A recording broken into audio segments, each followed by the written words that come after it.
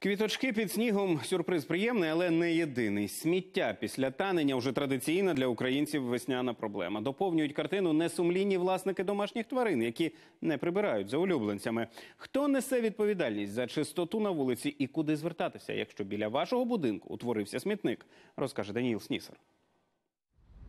Захаращені газони, пакети по вулицях, пластикові пляшки, розбите скло. Це весняні реалії українських міст. Сміттєва хроніка повторюється із року в рік. Щойно сніг починає танути, на його місці з'являються сюрпризи. Пісок, намул, усілякий непотріб, який не встигли прибрати до снігопадів. Якщо у центрі столиці все більш-менш чисто, то на подвір'ї у спальних районах картина значно гірша. Вражає не менше ніж вартість утримання прибудинкової території, за яке кожний житель будинку має сплачувати щомісяця. Багато платимо, але прибирання такого немає. Я вам об'ясню чому. Тому що люди не йдуть. У дворники 21 дом обслуговує 3 чоловіка, всього-навсього. Це можливо зробити? Це невозможно. Ви отак пройдіться і подивіться, що там далі воно робиться. Все літає. От. І зарплату, звісно, так як була, так і є. Двухкомнатная квартира, два человека. Мы платим 250, ну так вот, в пределах таких. Во дворе всегда грязно.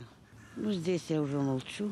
Немає послуги, не треба й платити. Юристи кажуть, оплату за прибирання території можна оскаржити. Для цього необхідно звернутися в ОСББ або до ЖЕКу з вимогою скласти акт про неналежне виконання робіт.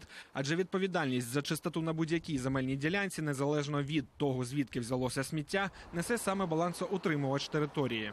Якщо ви бачите, що на вулиці не прибирається довгий період, потрібно просто повідомити на гарячу лінію місцевої ради, так ну наприклад, КМДА, так на гарячу лінію, і повідомити, що, наприклад, на протязі там тижня, двох-трьох на вулиці лежить сміття, і його ніхто не прибирає. Тоді вже буде е, питання до керівника району, чому е, його підлеглі не виконують свої прямі зобов'язання.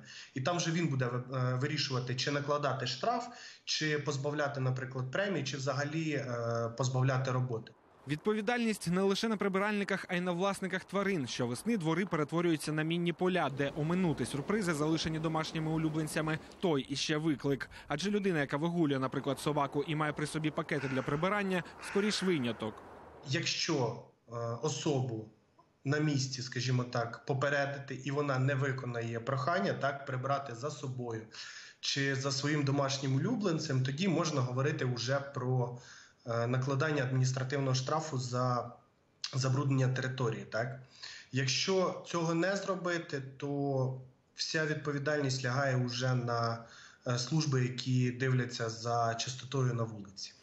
А ще недбале прибирання може стати причиною повені, адже пісок, намул та обламані гілки, які після танення снігу ніхто не прибирає, потрапляють у ливнівки і стають причиною підтоплень навіть під час незначних опадів. Даніл Снісер, Василь Дендін, подробиці телеканал Інтер.